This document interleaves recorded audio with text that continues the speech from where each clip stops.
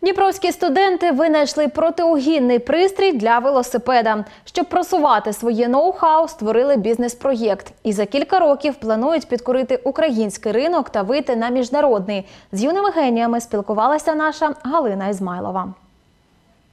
Колись там Павло Герман обожнює кататися на велосипеді. Пригадує, якось разом з двома товаришами намотав кілька кілометрів. Хлопці захотіли їсти. Проте покинути двоколісні просто неба було лячно. довелося брати на виніс та їсти на вулиці.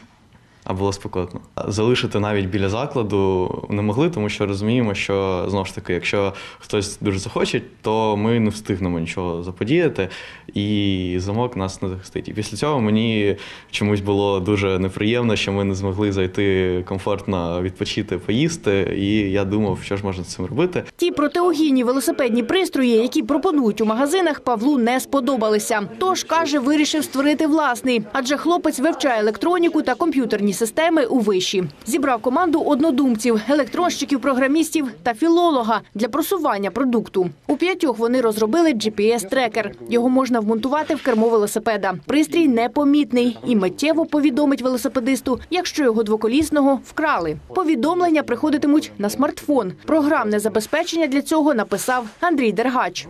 Когда устройство за- зацепят или кто-то попытается его то вам придет уведомление, вы подтверждаете, что да, действительно его украли, и он появится на карте, где он сейчас, ну, по, по данным датчика, и приблизительный маршрут, который он прошел. Э, Впоследствии мы планируем сделать так, чтобы эти данные автоматически отправлялись полиции и частным охранным компаниям, Ілля Волков вивчає іноземні мови. Каже, можливо, стане репетитором з англійської. Проте сподівається, що їм вдасться налагодити масове виробництво GPS-трекерів та стати успішними бізнесменами. Для цього рекламує винахід та шукає інвесторів. Говорить, передзамовлення на їхній пристрій вже зробили кілька веломагазинів Дніпра. Ми змогли виграти грант від Українського фонду стартапів 25 тисяч доларів. Для початку ми орієнтуємось на 20-30 штук. Це буде перша дрібносерійна партія тестова.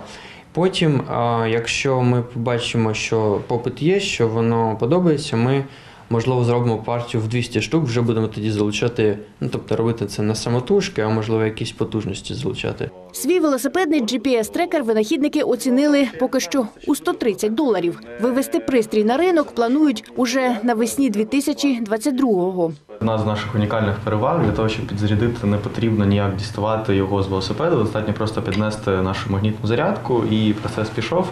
За буквально пару годин пристрій заряджається. Батарея тримає два тижні, але це не межа, обіцяють розробники. Тож поки що тестують та вдосконалюють пристрій. Галина Ізмайлова, Роман Вишинов, Open телеканал відкритий.